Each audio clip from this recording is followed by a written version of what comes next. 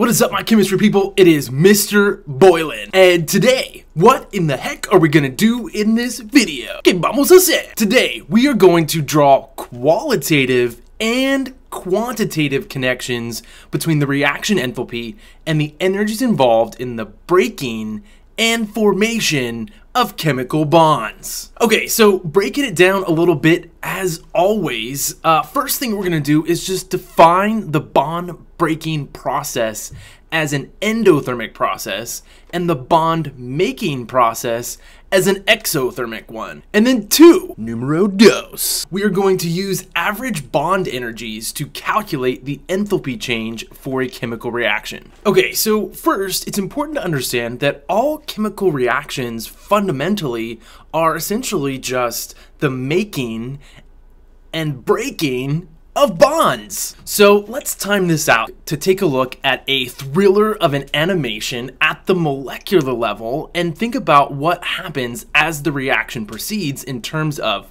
breaking bonds and making bonds. Now the reaction we're going to look at is the combustion of methane. And at the molecular level, essentially what happens is we put energy in to break the four CH bonds that make up methane. And then we put in more energy to break the bonds that make up the oxygen molecules. But then, as the water is formed and those oxygen hydrogen bonds are created, energy is released. Similarly, as we form the carbon oxygen bonds in carbon dioxide, additional energy is released. And so as you think about the overall chemical reaction, you need to think about how much energy went in to break those bonds, how much energy was released when those new bonds were formed. Energy in, endothermic, endothermic, energy in, breaking bonds, forming new bonds, energy released, exothermic. Okay, so you just need to recognize that energy required to break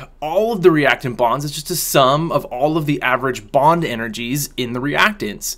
And that process is an endothermic one. In other words, energy must be absorbed in order to break bonds. Two, you also have to recognize then that the energy released in making all of the product bonds is just a sum of all the average bond energies that is an exothermic term, and in other words, that means energy is released when we form new bonds. Okay, so the overall enthalpy change in reaction then relates the bond breaking process, endothermic, and the bond making, exothermic processes. The total enthalpy change, or the total heat of a reaction, can be negative if it's exothermic overall, if more energy is released than we had to put in, or positive overall if we had to put more energy in than was released in the formation of those new bonds. We can then calculate the enthalpy change for a reaction using a list of bond energies and the following understanding. Now you've got to be careful with this because it's very similar or seems very similar to another equation that we use when we're determining enthalpy of a reaction from heats of formation. But this one is using bond energies.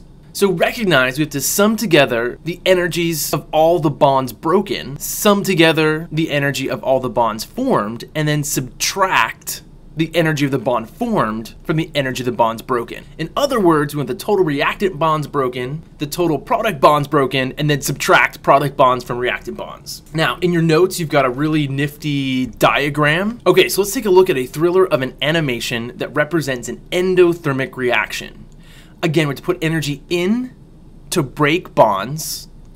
And then when we make new bonds, energy is released. Now, for an endothermic reaction, we put more energy in to break the bonds than is released when those new bonds form.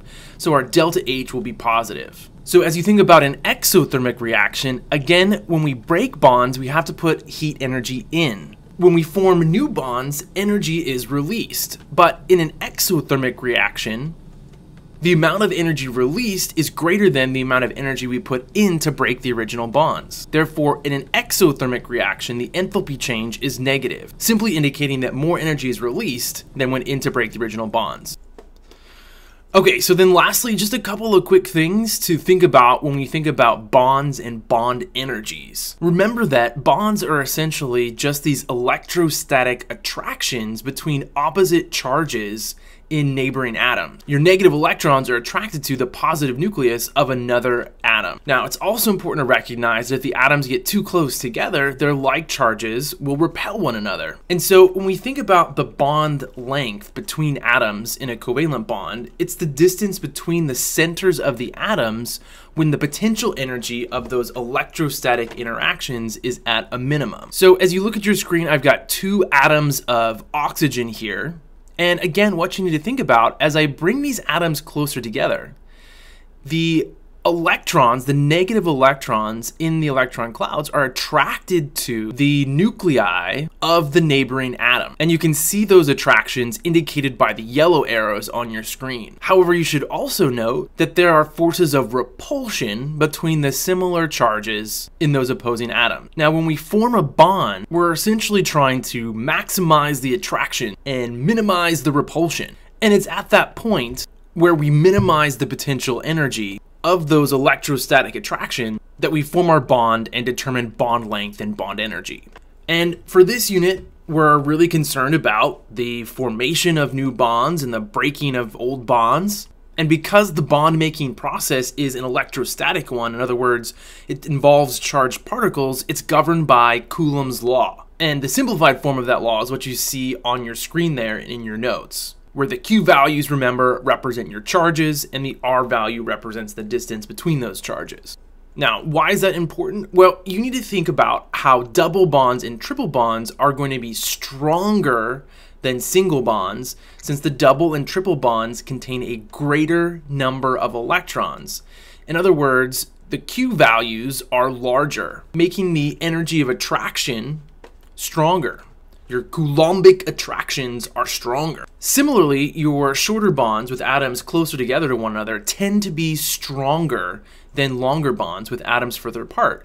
And again, as you go back to Coulomb's law, because the distance between the charges is smaller, our denominator, energy of attraction, is greater. So as you look at and interpret data tables that involve both bond lengths and bond strengths, and you've got an example in your notes and on your screen there, Typically, single bonds are the longest, triple bonds are the shortest. However, triple bonds are the strongest, and single bonds are the weakest.